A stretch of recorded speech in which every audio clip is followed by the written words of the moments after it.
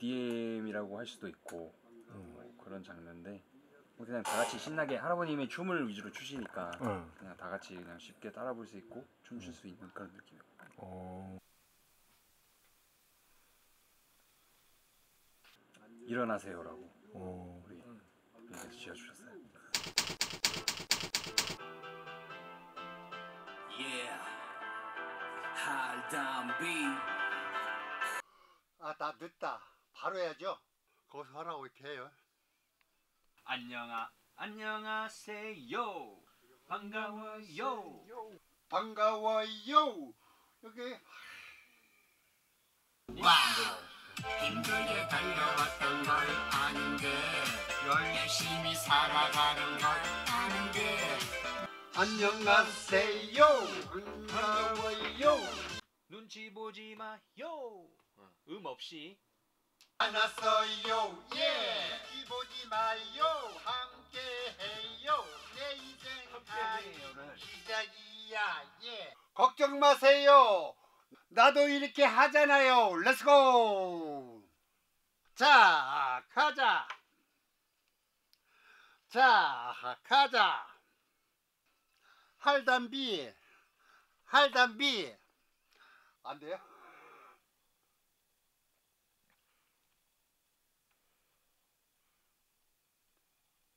상당히 어렵네 노래하기가 가수가 보통 가수가 아닌 거야 노래하는 사람 보면 안 그래요? 맞아요.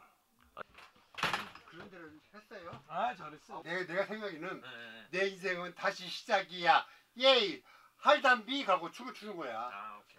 네 알았습니까? 네 아, 알겠습니다. 내 생각이 그래요 아이고, 아이 그러니까 왜 알았어요. 아는데 그런데 알았어요 이 내가 얘기 내가 이제 저 아이고 동생 붙여가지고